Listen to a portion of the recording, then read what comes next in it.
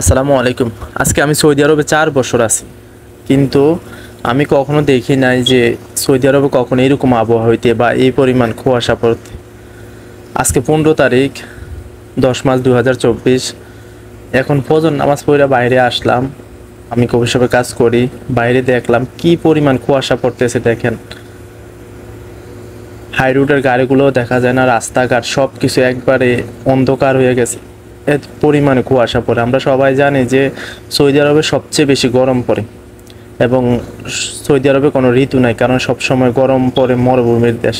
ওই দেশেও আজকে আবহাওয়া চেঞ্জ হয়েছে সব কিছু পরিবর্তন হইতেছে, কিন্তু আমাদের দেশে দিন দিন গরমের তাপমাত্রা মনে হয় বাইরে যাইতেছে। কোনো কোনো সময় বৃষ্টি হয় আর বেশিরভাগই গরম।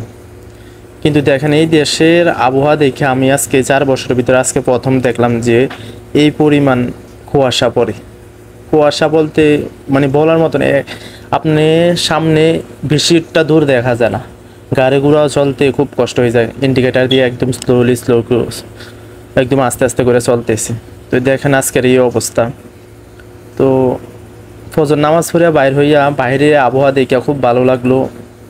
কারণ এই যে দেশে এত গরম, এই দেশে আবার ঠান্ডা আসতেছে, ঠান্ডার মৌসুম আইয়া পড়ছে। দেখে খুব ভালো লাগল, আলহামদুলিল্লাহ।